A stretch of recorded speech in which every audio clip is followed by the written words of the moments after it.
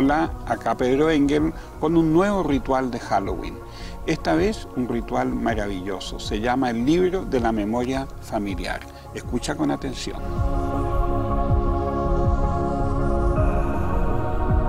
Este ritual que se llama el libro de la memoria familiar es precioso.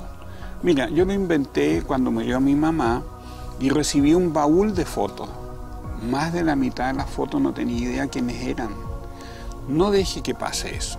Mire, todas las fotos familiares, las que van quedando, porque hoy día la mayor parte de las fotos son virtuales, pero las que van quedando en papel, haga lo siguiente. Tome un libro, que lo puede hacer usted, o lo puede comprar como una croquera, por ejemplo, que puede adquirir en las librerías de arte, y va poniendo las fotos.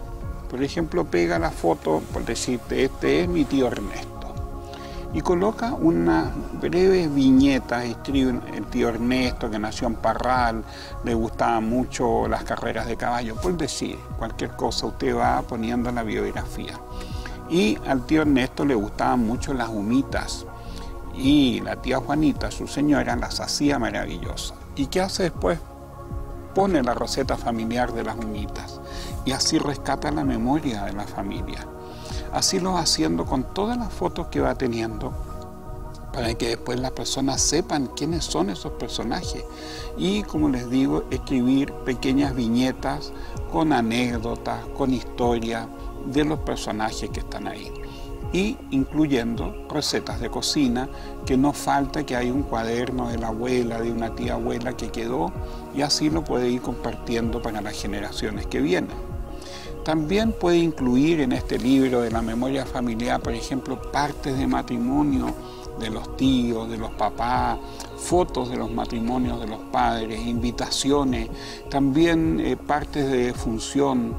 E incluso yo, por ejemplo, descubrí los títulos de, médico, de, abogado de mis bisabuelos en Viena, que son unos, unos papeles maravillosos, timbrados.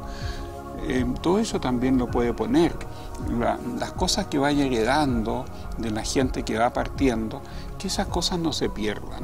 Que usted va haciendo este álbum familiar de recuerdo, incluso con fotos de las casas, de los veraneos, de las navidades, de las celebraciones, cumpleaños, y va haciendo todo este cuaderno que se puede demorar su tiempo.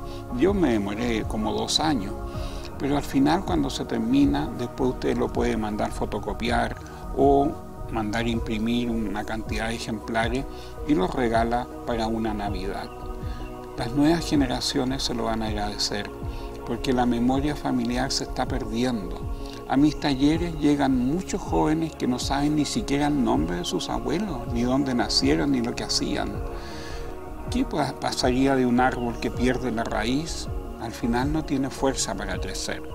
Lo mismo los jóvenes necesitan la historia de la raíz, haga este libro de la memoria familiar.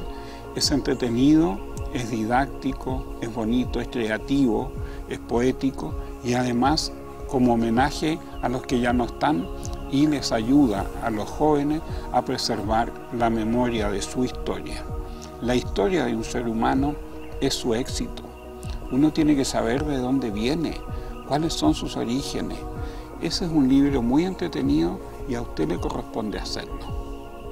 Espero que te haya servido este ritual del libro de la memoria familiar. Yo lo encuentro sumamente práctico, interesante y creativo. Mañana volveré con otro ritual y no te olvides de participar en el concurso donde tú puedes dejar tus comentarios en el Instagram de Itaú Chile.